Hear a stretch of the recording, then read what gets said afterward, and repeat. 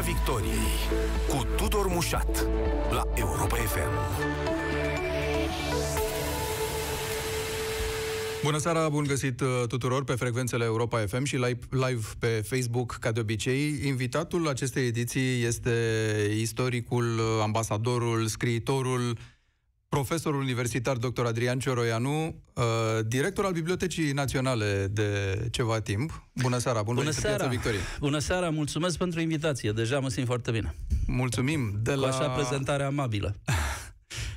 Nu știu cât de bine ne simțim în tablou momentului însă, domnule profesor, pentru e că e unul destul de complicat și generator de neîncredere și de îngrijorare de la problema cu pandemia, teoriile conspirației privind vaccinarea, confiscarea valorilor naționale, așa zisă, nu de către Uniunea Europeană, până la ce se întâmplă foarte aproape de noi, tensiunile dintre Rusia și Ucraina, plus uh, evoluțiile astea foarte sinuoase și imprevizibile ale scenei politice de la noi, uh, complică uh, toate lucrurile și chiar aș vrea să începem cu asta, cu, cu ce s-a întâmplat la noi. Care e lecția acestui an politic că facem exact un an de la alegerile parlamentare din 2020, finalizate cu, am văzut, formarea unei coaliții de dreapta, ne-am trezit în altceva. Domnule Mușat, uh, uh, vorbeați de complicații și, sincer, eu aș pleca de la trista concluzie că noi deseori ne complicăm și singuri.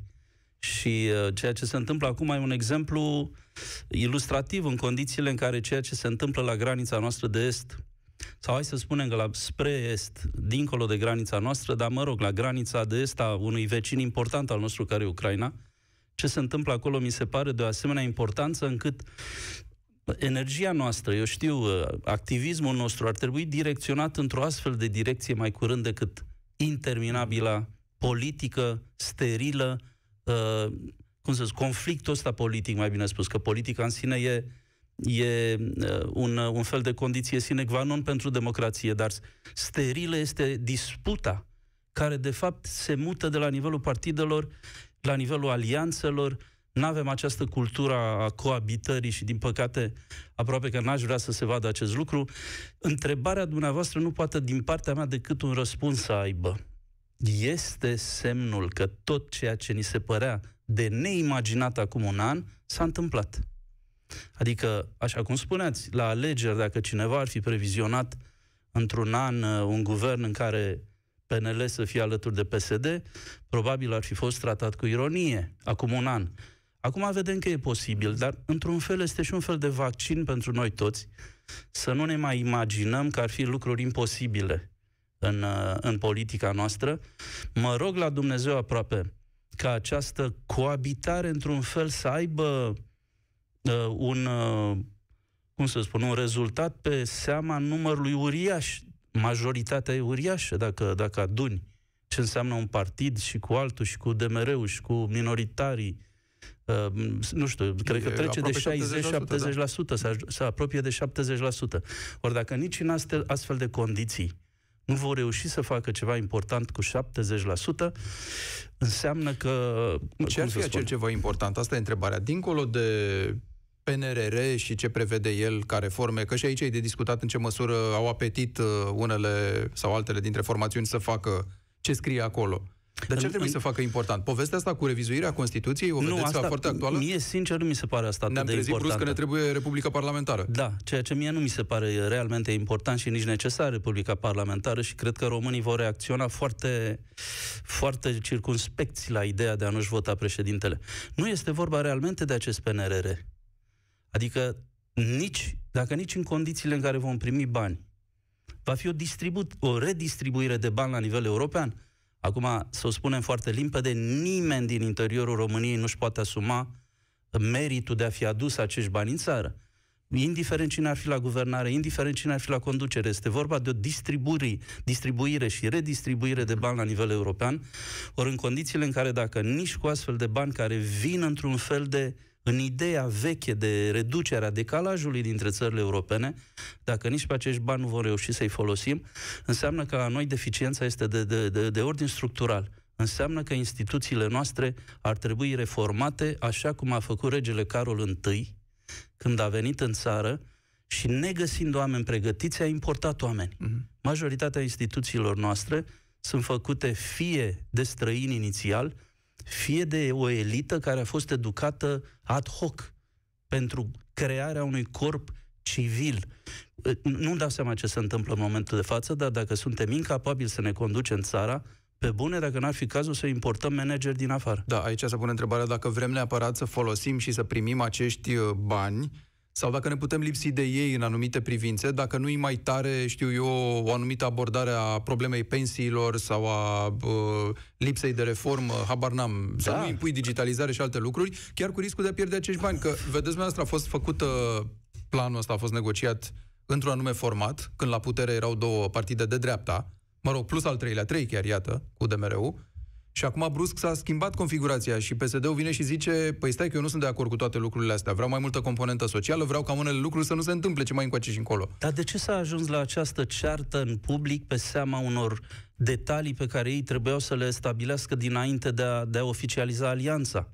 Adică sună ciudat totuși între, între două partide, trei partide importante, care își descoperă uh, lipsa de, uh, cum să spun, de uh, uh, compatibilitate după ce s-au aliat. Adică astea erau lucruri care trebuiau discutate înainte. Uitați-vă câte mm. luni au stat, nici nu mai știu, aproape trei luni au stat cele trei partide din Germania înainte de a anunța. Astăzi a depus, cum îl cheamă, nou premier. Da. Dar de trei luni discută. N-a fost nicio grabă.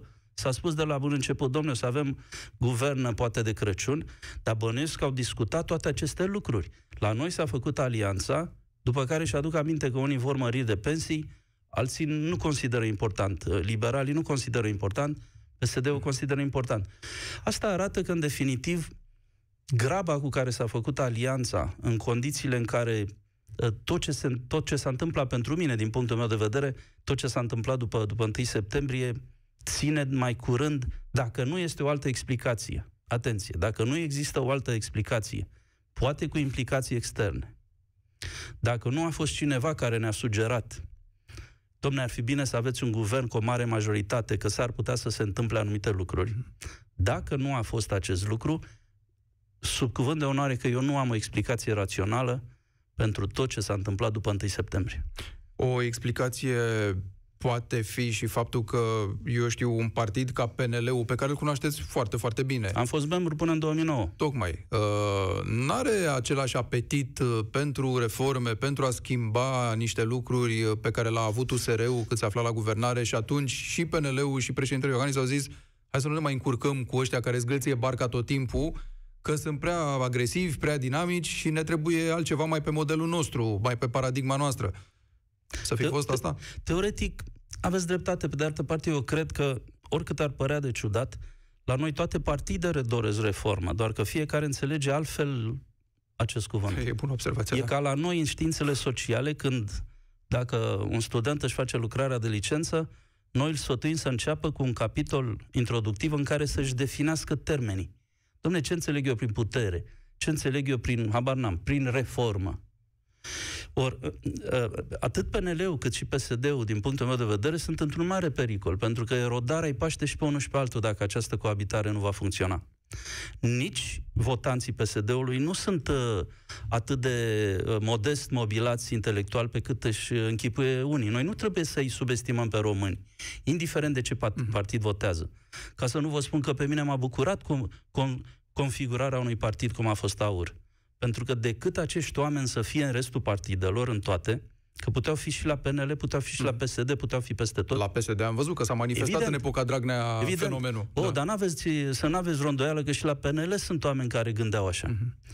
Ori e mai bine pe undeva să ai un partid. În toate țările Europei democratice există un partid care, cum să spun, strânge aceste firișoare de apă într-un râu mai mare. Lasă-l să fie acolo, măcar știi cu cine discuți știi ce vrea, vezi ce vrea. Interesant din punctul nostru de vedere e să vedem cine trage sforile în spate, plec, plecând de la ideea că nu le trage nimeni, dar vreau să spun, e bine să știm și cei mână în luptă pe cei din partidele noastre.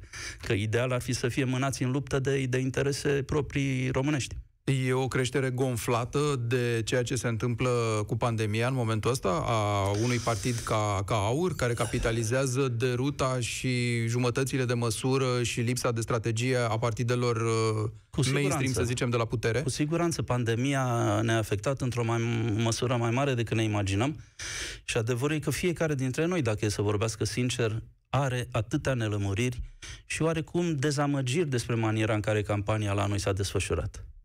Adică, cred că putea să fie ceva mai bine făcută și pe, pe înțelesul oamenilor. Eu plec de la ideea că dacă încerci să explici cele mai complicate subiecte, dacă încerci să le explici oamenilor pe limba lor, vei avea un succes mai mare decât bănuiești. Și credeți-mă că asta am făcut în istorie de fiecare dată când apar la televizor și vorbesc despre istorie, încerc totuși să explic lucruri care sunt uh, altfel extrem de complicate. Cum poți să spui, pui întrebarea ce conține virusul ce conține vaccinul și răspunsul e con, conține uh, uh, uh, vacanțe în străinătate. Omul se simte înșelat. De ce nu, de ce nu spui conține niște lucruri care îți fac bine? Vaccinul conține cu tare și cu tare și cu tare. Credeți-mă că în 30 de secunde se poate da un, un mesaj inteligibil. Ori în astfel de, de situații, când spui că uh, virusul conține, uh, iertați-mă, vaccinul conține miros de cretă sau copii care alergă da. găinile, omul se simte chiar derutat. Mă, de ce mă întreabă uh, un lucru cine e Tudor Mușat și spune că e un uh, domn uh, care trăiește în Europa? Da. Pe de altă parte, domnule profesor, uh, ați fost în Franța până în urmă cu doar câteva luni și acolo, în ciuda spiritului ăsta foarte contestatar al francezilor, n-a fost nevoie de foarte multe explicații, cât mai degrabă de niște restricții care au fost înghițite poate cu noduri de unii, dar de marea majoritate au fost îmbrățișate.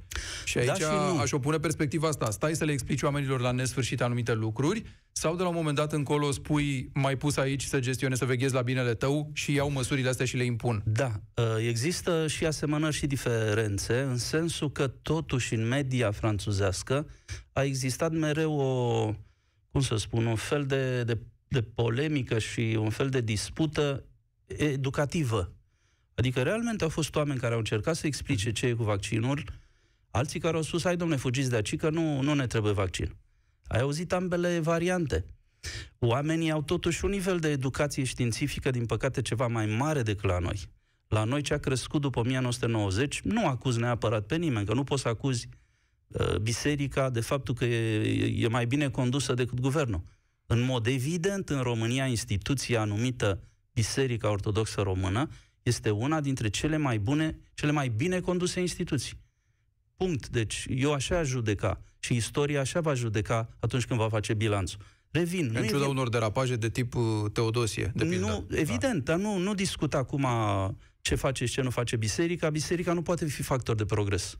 Progresist. Nu poate fi factor progresist. Nu poți să, să cer bisericii să fie de acord cu contracepția sau cu mai știu eu ce. Lasă-i acolo că ei sunt o putere conservatoare. Dar vino tu, societatea, uh, cum să spun, guvernul care e laic și spune-le oamenilor că de multe ori prinde bine și rugăciunea pentru pacea ta interioară, dar uneori ai nevoie și de medicină și de știință. La noi educația științifică s-a retras la nivelul lor elite, aproape în fiecare domeniu, și de aici căderea multor români într-un soi de obscurantism sau neo-obscurantism, în care oamenii își imaginează că sunt alături de Dumnezeu, dar ei nici măcar alături de Dumnezeu nu sunt. Sunt într-un fel de secol al XIX-lea uh, întârziat. Mm-hmm. Acum, dacă în privința asocierii ăsteia, mai mult sau mai puțin surprinzătoare cu care am început noi, PSD, PNL, la scara istoriei nu înseamnă nimic pentru că s-au mai văzut lucruri de genul ăsta. Da, și Între... iertați-mă da. o scurtă paranteză, înseamnă totuși ceva pentru că, repet, este vorba despre acestei culturi a, a colaborării, de fapt. E drept că există în Europa state în care dreapta și stânga au colaborat foarte bine. Și noi va trebui să învățăm acest lucru. Acum poate fi un început. Asumat și în, urm- în baza unor programe și angajamente, nu la nervi, m-am exact. plictisit de ăia, m-am exact. certat cu ei, mă duc la corect. ceilalți. Da, corect, da. corect. Deci în Germania, că o tot dăm, o tot uh, dăm exemplu de creștini democrații și cu socialiști, au făcut guverne fără niciun fel de problemă. Și n-a luat foc Germania. Da. Poate că trebuie și noi să învățăm această lecție. Uh, totuși, la scara istoriei, pandemia va rămâne, nu un moment uh, definitoriu cu lecțiile lui cu tot. Și aici vreau să vă întreb, domnule profesor Ceroianu, uh, ce, că probabil că mult nu mai e până la, la final. Ce amprentă lasă, așa, să fie, așa vizibilă acum?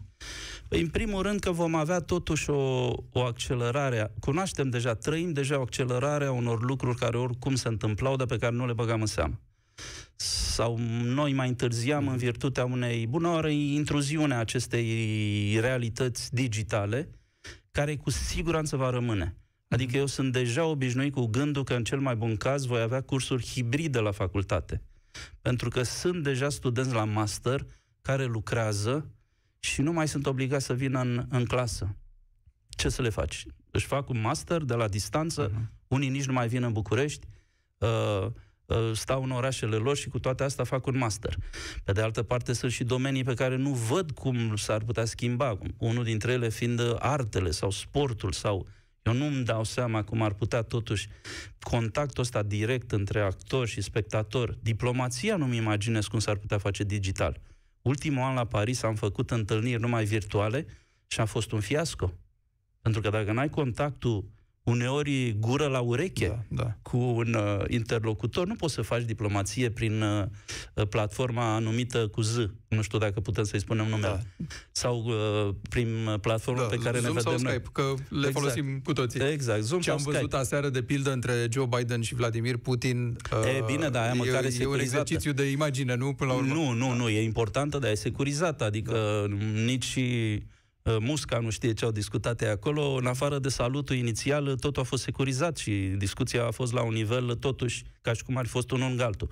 Dar chiar și această formă de contact, evident că nu va mai dispărea. Sunt acum prezent în comisii de doctorat, de unde înainte mă duceam la Cluj sau la Constanța sau nu știu unde, acum le faci, comisiile de doctorat le faci prin platformele astea. Asta bănuiesc că va rămâne.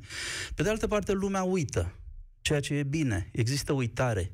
Ca istoric poate să pară paradoxal că vorbesc despre uitare, dar dacă n-am uita, noi am înnebuni. Fiecare dintre noi, dacă n-ar uita, am înnebunit la un moment dat.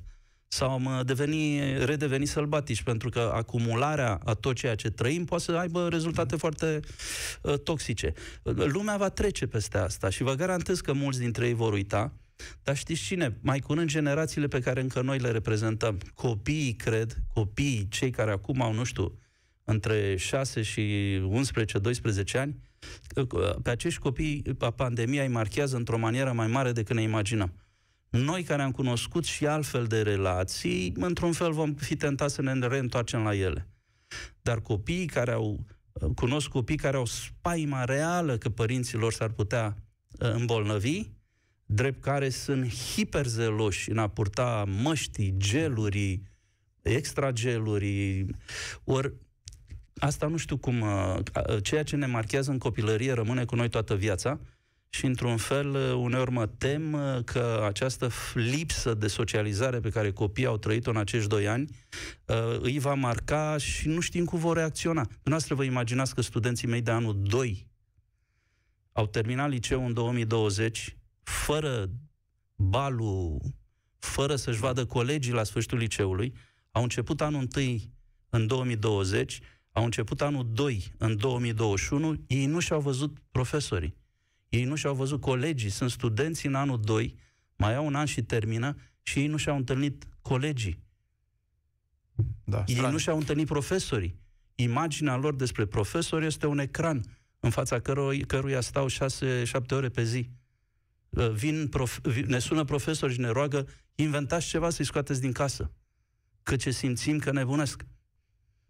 Da, vă reamintesc, stăm de vorbă cu profesorul Adrian uh, Ceroianu astăzi în Piața Victoriei la Europa FM. A fost uh, probabil, fără discuție potențată și de pandemie, toată polemica asta legată de cât de mult intervin instituțiile supranaționale în viețile noastre, apropo de Comisia Europeană, îndemnurile la vaccinare, negocierea tranșelor de vaccin și așa mai departe, dar s-a grefat, am impresia, domnule profesor, pe o discuție care începuse deja, de rezistență în fața unor, uh, uh, știu eu, uh, concepte. Tot vedem suveranismul ăsta, nu, pe care îl afișează anumite părți ale societății și politicii uh, europene.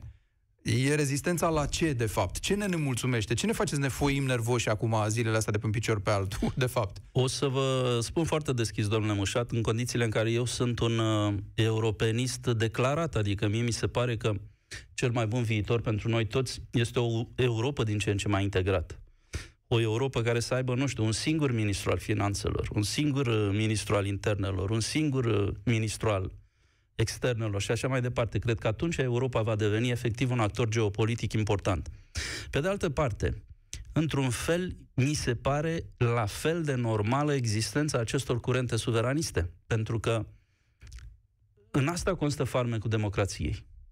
Vedeți, noastră, la noi a fost o asemenea unanimitate când s-a pus problema intrării în UE în 2007, încât lucrurile erau prin natura lor suspecte. Și vă aduc aminte că eram ministru de externe atunci și am dat o, o recepție la București în 2007, după intrarea noastră în, în Uniunea Europeană, am dat o recepție la clubul diplomatic, aveam o vizită de înalt nivel de la Parlamentul European și noi am invitat crema politicii românești, conducerea tuturor partidelor, o masă mare și frumoasă, cum se fac în țările astea nou intrate nu e. Ați văzut cu cât cu cât îmbătrânești așa nu e, capeți experiență, mesele sunt mai normale, mai raționale, da, adică da. un sandwich și o cafea și o șampanie cel mult. Țările nou intrate au tendința de a face mese pantraguelice. Cam așa era și pe vremea aia. E, și noi ne lăudam acestor europeni domne, toți românii au dorit intrarea, nu e și oamenii așa au fost foarte amabili și au spus că da, dar să știți că nu e ok în, când există astfel de unanimități, ele sunt false. Și mai devreme sau mai târziu o să apară unii care o să spună, hai domne, ce ești cu Europa asta? Asta e normal într-un fel să se mm. întâmple. Ideea că noi am crezut că toți românii sunt de acord cu Uniunea Europeană sau toți românii doresc să intre în NATO, toți românii una sau alta, totdeauna când auzi toți, trebuie să iei cu un grano salis, așa, trebuie să iei cu simț critic, pentru că atunci când ai spus toți, te înșeli. Totdeauna natura umană e atât de diversă încât mereu există rebeli într-un sens sau altul. Deci e bine că există și suveraniștii, e bine că putem discuta în mod liber și eu, evident, voi uh, încuraja orice discurs antisuveranist, pentru că eu cred că Europa efectiv este, este patria noastră comună. Bun, dar mai e ceva, dincolo de abordarea politică, să zicem, mai e și o abordare din asta socială, legată sau nu de niște teorii ale conspirației, care are legătură și cu Uniunea Europeană, dar are legătură și cu ce se întâmplă peste ocean în Statele Unite. Formele astea de, așa zis, progresism, să le mm-hmm. spunem, Uh, sunteți la curent cu discuția Evident, de zilele astea, da. cum vrea UE să ne fure Crăciunul, nu? Sigur că da. Pornind da. de la un fake news până la urmă, de la un document cu circuit închis, da. retras între timp, care oricum avea alt scop, să fie inclusiv cu toate religiile Domnul și... Mușat, o să fiu foarte da. direct. Da. Așa cum în România sunt oameni stupizi, și în, și în Europa sunt oameni stupizi, și la Bruxelles sunt oameni stupizi. Când ești stupid, oricare dintre noi are momente de stupizenie și mie mi se întâmplă și poate și dumneavoastră vi se poate întâmpla uneori. Când vrei să faci un lucru bun și îl pui în pagină de așa natură încât iese o stupizenie. Povestea asta în mod evident că a fost o stupizenie cu vă sfătuim să nu folosiți Crăciunul și orice om, cred că normal, cât de cât educat, dacă ai un prieten care este, nu știu, de religie iudaică, nu-i spui Crăciun fericit. Îi spui după data lui sau după sărbătorile lui, dacă vrei. Dacă nu-i spune ce vrei, dar asta ține de fiecare în momentul în care se impune de undeva pro, po, povestea cu acest progresism, pe care eu îl înțeleg din punct de vedere istoric, dar îl înțeleg prin cheia faptului că acești oameni, de fapt, n-au cunoscut o, un regim de stânga de asta cum am trăit noi. Să explicăm un pic termenii, cum ziceați chiar dumneavoastră. Da. Ce înțelegem prin chestia asta? O atenție exagerată pentru acest acordată minorităților, acest acordată progresism, precauție exagerată da, în legătură cu folosirea unor termeni. E foarte sau... interesant. Acest progresism este o stângă fără marxism. Ei nu mai cred în lupta de clasă. La ei lupta s-a, s-a nișat, sunt, se luptă pe toate fronturile. Pe frontul femeii, pe frontul minorităților sexuale, pe frontul văzătorilor sau nevăzătorilor, pe, pe frontul culorii pie, pielii. Și totdeauna când se luptă pe asemenea fronturi într-o societate care e deschisă și liberă, cei mai zgomotoși sunt totdeauna minoritățile. Adică progresiști ăștia în ansamblul lumii occidentale sunt totuși o minoritate. Dar pe de altă parte e normal ca minoritățile să fie zgomotoase. Așa funcționează orice democrație. Ceea ce noi vedem în momentul de față, pentru noi, cum să spun, noi avem un sentiment de deja vu, pentru că noi am mai trăit un regim care vrea să facă binele cu forța. În sens invers, cumva, să da. uniformizeze mai degrabă decât da, să adică diversifice. Adică binele cu forța. Da. Când, când vrei să faci binele cu forța, să alege praf. Ori, cum să spun, înțelegând din punct de vedere progresismul de astăzi, nici pe departe nu e atât de periculos pe cât s-ar crede. El nu va modifica lumea occidentală în ansamblu. Lumea occidentală are cicluri și cicluri. O să fie alte valuri de conservatorism, o să le vedem, nu știu, în 10-20 de ani. Deci asta se întâmplă din totdeauna în Europa și v-aș putea da nenumărate exemple. Gândiți-vă că, nu știu, ce să vă spun, în Imperiul Roman, un homosexual trăia mai bine decât în uh, Europa la 1400. Deci sunt cicluri și cicluri.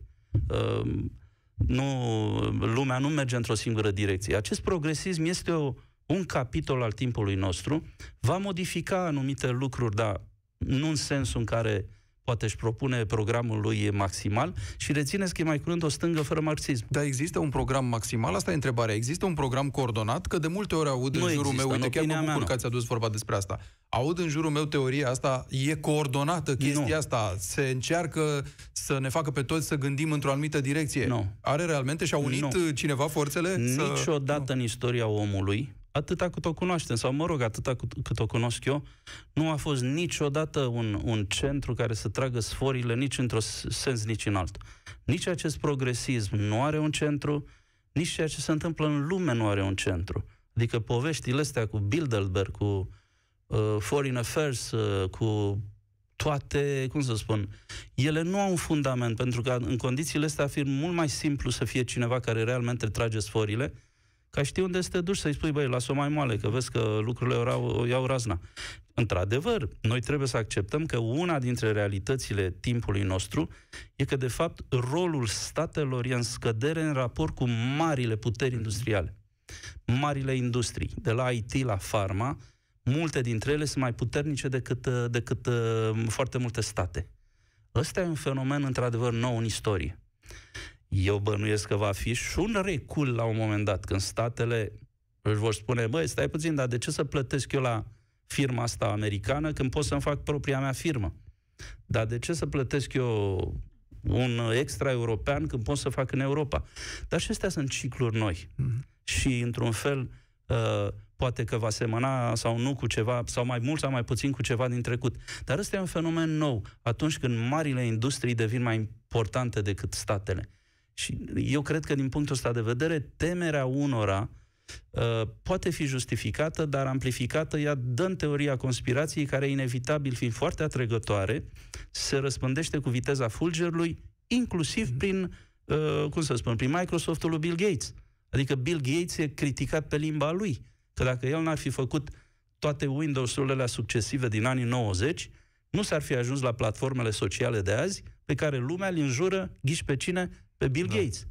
Deci e, este, cum să spun, este paradoxul europenilor care au dus calul în, în America și au urcat indienii pe cal și au început să-i să-i urmărească pe, pe coloniști și să tragă cu săgeții. Da, am căzut cumva în capcana de a privi către anumiți poli, nu știu, de tip uh, Hollywood, să zicem, care introduce, iată, cote de prezențe în funcție de minorități, uh, uh, gen uh, orientări și așa mai departe și atunci noi, foarte ancorați în fenomenul ăsta, avem senzația că e un fenomen global, de fapt, și că suntem datori să ne raportăm la el Uh, simpatizând sau criticând uh, Fenomenul e foarte asta? interesant. Generația mea... Pare că reverberează din anumiți poli cu care poate nu avem neapărat legătură directă. Da, generația mea e tentată mai curând să spună că fixarea acestor cote e o, iarăși o, un, un gen de măsură stupidă.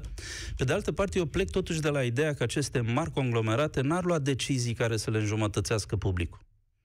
Adică sunt totuși Uh, dacă iau astfel de decizii, înseamnă că ei se bazează pe, o, pe, o, pe un studiu de piață.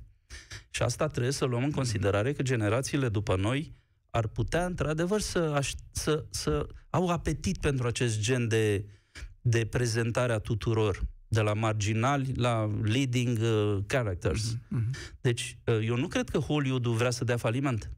S-ar putea ca ei să aibă un studiu de piață care să-i fi condus spre ideea, băi, e mai bine dacă băgăm și un gay, băgăm și o persoană de culoare, băgăm și un asiatic, băgăm și un est european, s-or baza pe ceva. Pentru nu e numai altfel... marketing, e reprezentare până la urmă. Adică exact. Adică nu... Da, eu nu cred că vor să-și taie creaca de sub picioare să dea faliment.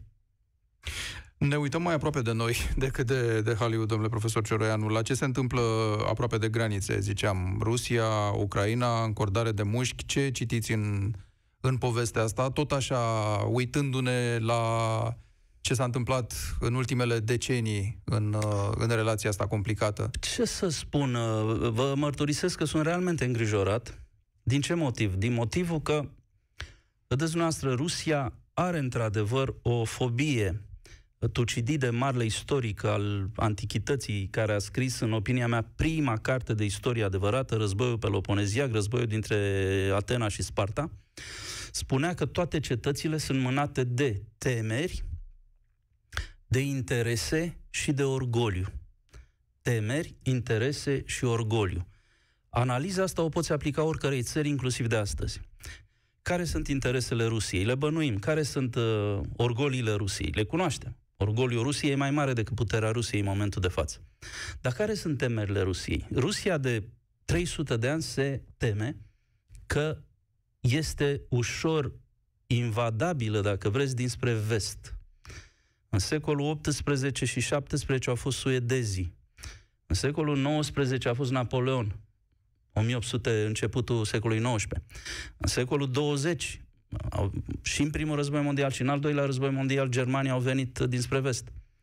Uh, din perspectiva lor, evident că interesul lor este să controleze Belarusul și Ucraina.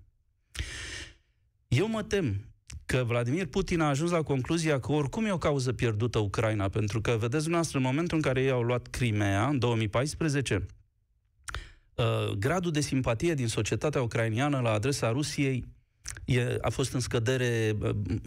Ori dacă el își pune problema, mă, dacă tot pierd Ucraina, măcar hai să nu o pierd pe toată. Mm. Și eu vă garantez că dacă va intra, nu se va limita la zonele din estul Ucrainei. Din punctul meu de vedere, ca om care încearcă să citească harta, uh, cum să spun, buricul, uh, punctul moale al Ucrainei este coasta de nord a Mării Negre. Uh, în mod categoric, Rusia va încerca să ocupe această coastă.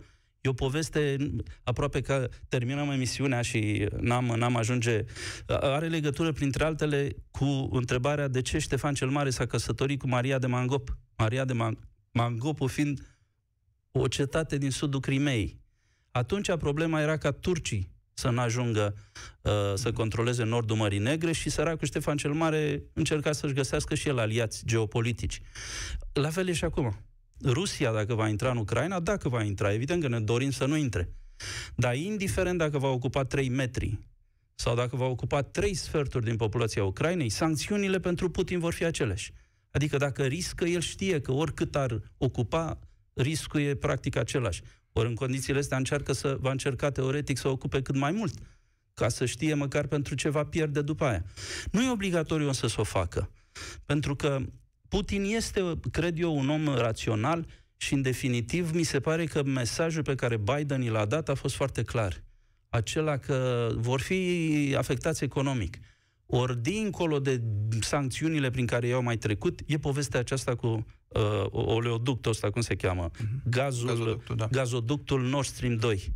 E, dacă se oprește, dacă nemții opre, opresc robinetul la Nord Stream 2, asta ar fi o mare lovitură pentru, pentru Rusia. Și ghiși ce? Chiar astăzi, după discuția dintre Putin și uh, președintele Biden, Germania și America au anunțat în comun că dacă uh-huh se produce o invadare a Ucrainei, gazoductul e oprit. Va fi dispus... Uh, Germania a fost convinsă, da, în cel da, din urmă. absolut, Iată, da. da. Va, va fi dispus mm-hmm. să, să riște Putin, să sperăm că nu va face. Bun, în uh, tot tabloul ăsta turbulent de care noi vorbeam, cu pandemie, cu fricțiunile astea din jur și așa mai departe, uh, noi mai avem timp de recuperat uh, istorie, recuperat cultură, conduceți și Biblioteca Națională, ziceam la început, Uh, și îmi imaginez că nu e vorba doar despre carte și a citi. E vorba de mult mai mult, mai ales în perioada asta. Oh. E vorba de a uh, pătrunde, nu? Uh, prin conferințe, prin discuții, prin dezbateri. Domnule Mușat. În formatul ăsta mai nou pe care îl practicăm. Trec direct la răspuns că ne apropiem inevitabil da. de, de final. Eu am venit la, la Biblioteca Națională când mi s-a făcut propunerea de către Ministerul Culturii. Uh, era domnul uh, Gheorghiu, ministru, și mi-au făcut propunerea asta, ce uite așa și așa, avem nevoie de o, o persoană care să încerce niște lucruri. Sincer, eu nu cunoșteam situația Bibliotecii Naționale și am venit cu prioritatea constant în digitalizarea uh, colecțiilor speciale uh, superbe și enorme pe care Biblioteca Națională le are. Colecții speciale însemnând, să zicem, carte veche, manuscrise, fotografii, documente pe care Biblioteca Națională le are, ziare vechi și așa mai departe. E, numai că în momentul în care am venit, mi-am dat seama că, de fapt, principala problema Bibliotecii Naționale e cu totul alta și are legătură cu ce spuneați noastră. Știți că, de fapt, Biblioteca Națională are mai puține cărți la rafturi și ziare decât zac în depozite. Biblioteca Națională vorbește despre 12 milioane de unități, cărți și reviste, publicații, dar în realitate din aceste 12 milioane, la raft disponibile oricând sunt doar vreo 5 milioane. Deci mai mult decât se află accesibil, sunt puse de avalma în niște depozite de vreo 15 ani. De când s-a mutat aici Biblioteca Națională, anumite părți culese din toate depozitele din București, vă aduc aminte că Biblioteca Națională înainte era în fața Băncii Naționale, într-o clădire frumoasă de secol XIX, dar mică, drept care avea avea depozite în tot pe, în jurul Bucureștiului. Când s-au adus aici, unde s-a mutat Biblioteca Națională, au fost puse efectiv de avalma niște depozite și nimeni n-a mai umblat la ele. Deci este ceva de domeniul incredibilului. Deci pentru... asta e provocarea. O, da. da. Păi nu, dar e rușinos să stai cu mai, mai mult de jumătate de, de, de, de, de, de, din tezaurul tău să, să, să nu fie disponibil. Ca să nu vă mai spun că, deși are niște oameni minunați, Biblioteca Națională, în ultimii șapte ani a avut opt directori generali. Eu sunt al optulea director general în șapte ani. Nu e normal. Credeți-mă că nu e normal. După orice cum, Cum pot fi spun? făcute lucrurile astea mai accesibile? Un minut mai avem în, uh, da. pentru, pentru toată lumea. Cu voință și cu bani. Cu voință și cu bani. Vol- cultura nu se face cu voluntariat, credeți-mă. Cultura are nevoie de susținere și datoria mea ca director general este să mă bat pentru bani, pentru această bibliotecă, de la guvern, dar nu neapărat, și din fonduri private. Și o să încerc să o fac.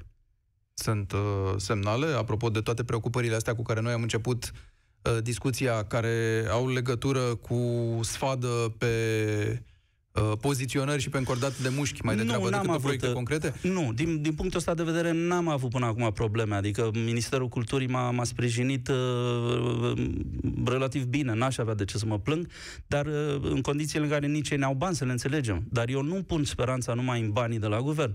Adică există în toată Europa civilizată, există diverse forme prin care cultura poate fi susținută și slavă Domnului că vă garantez, domnule Mușat, că avem în România mii de familii care își pot permite să, nu știu, să înfieze o carte. Mm. Înfiază o carte. Vă garantez că voi încerca să-i găsesc pe acei oameni dispuși să înfieze o carte sau o revistă din Biblioteca Națională a României. E bun apelul în preajma sărbătorilor. Mulțumesc foarte mult, profesorul Adrian Cioroianu, astăzi la Piața Victoriei. Pe curând! Piața Victoriei cu Tudor Mușat la Europa FM.